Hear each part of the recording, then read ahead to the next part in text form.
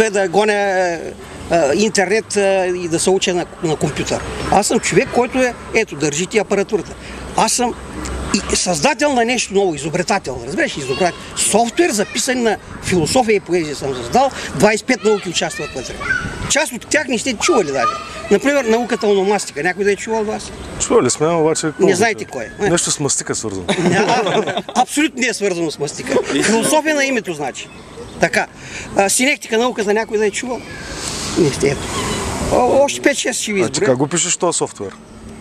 Е, той не е компютърен софтуер, явно.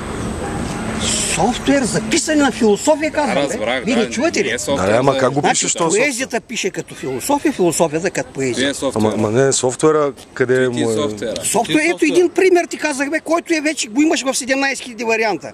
Ето, най-тънкото нещо на света е на комар от хучица. Сега, най-тежкото нещо. Ама, ама може да